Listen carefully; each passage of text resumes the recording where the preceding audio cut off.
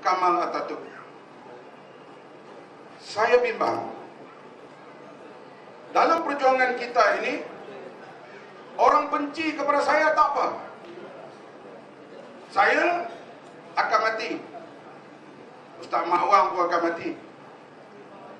Orang benci kepada individu tak apa. Saya bimbang orang benci kepada Islam. Ini yang saya bimbang.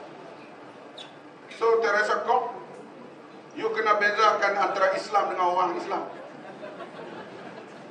Kalau sampai ke peringkat orang benci kepada Islam, inilah yang cukup berbahaya.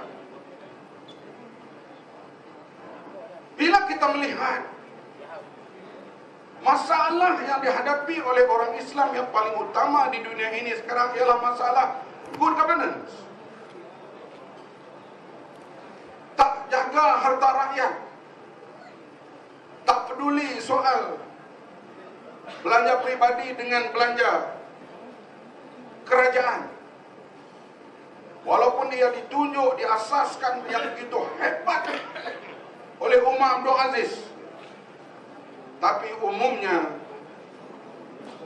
orang Islam kurang peduli soal good governance ini. Akhirnya timbul kebencian. Saya kata tadi, kebencian kepada orang tak apa. Orang benci pada saya, orang benci pada Husham, orang benci kepada Hatta, tak apa. Jangan sampai benci kepada agama. Orang mengkritik ulama, tak suka ulama itu ulama ini tak apa. Tapi jangan sampai membenci Islam. Saya bimbang tren anak muda sekarang ni. Yang saya bergaul, saya biasa minum dengan mereka malam-malam, ke-12, ke-1, di Brickfield, di Bangsa. Ada antara mereka kata peduli apa dengan agama.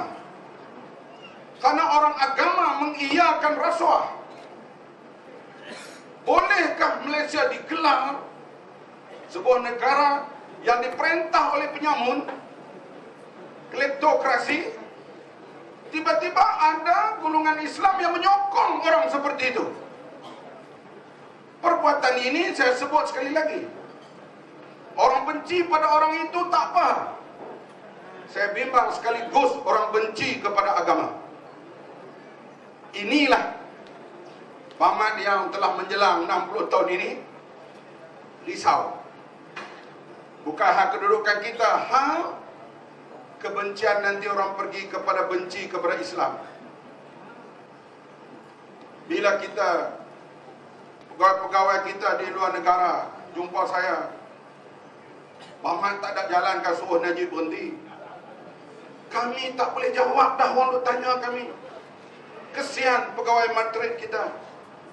Kesian pegawai-pegawai kedutaan kita Yang mereka menghadapi persoalan ini Hampir setiap hari Yaitu Malaysia digelar diperintah oleh penyamun. Tiba-tiba ada golongan Islam Ada parti Islam mengatakan tak apa. Boleh bersama Mana ada bukti Konspirasi Amerika? Kebimbangan inilah Yang ada kepada kita. Saya yakin